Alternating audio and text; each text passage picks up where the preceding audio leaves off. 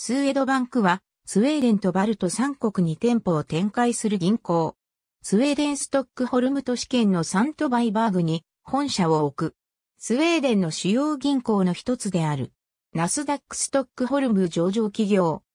スウェードバンクの ATM の標識1820年に、ヨーテボリで設立されたスウェーデン最初の貯蓄銀行と、1915年にストックホルムで設立されたスウェーデン最初の農協銀行にルーツを持つ。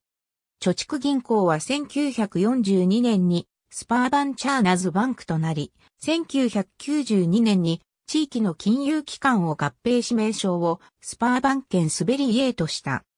農協銀行は1958年にジョードブルーケッツバンクとなり、1991年に12の農業銀行を合併し、ホーニングスバーンケンクとなった。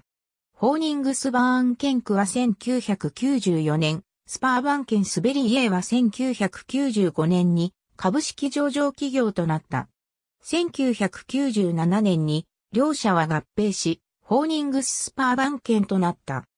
1991年にエストニアで設立され、バルト3国で事業を展開していたハンセバンクの株式取得を進め、2005年に同社の全株式を取得した。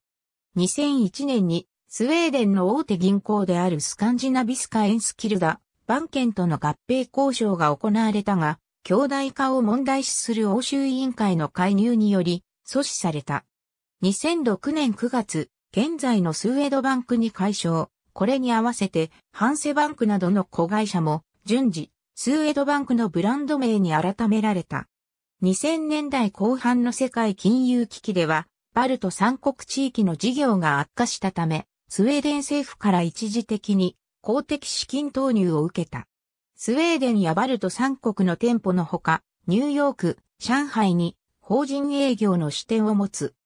2019年2月、スウェーデンの公共放送 SVT がデンマークのダンスケ銀行が関与した資金洗浄の関連で、スウェードバンクのエストニア支店がダンスケ銀行宛てに2007年から2015年まで400億スウェーデンクローナ以上を送金していたことを報道した。